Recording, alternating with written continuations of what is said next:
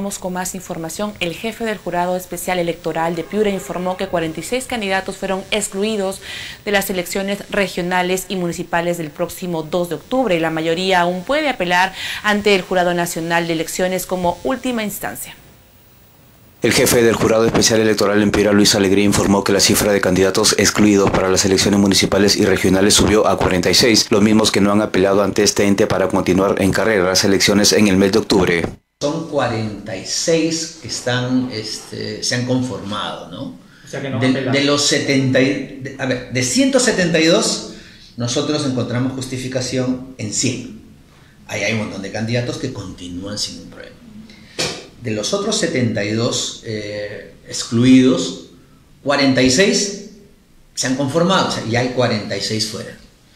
Entre regidores, candidatos a regidores principalmente, y los que han apelado mayormente son este, candidatos alcaldes, que son un grupo de 26. Los 26 ya están en Lima, ¿no? Y están en manos del Jurado Nacional y nosotros esperaremos eh, el resultado y, se prosigue. ¿no?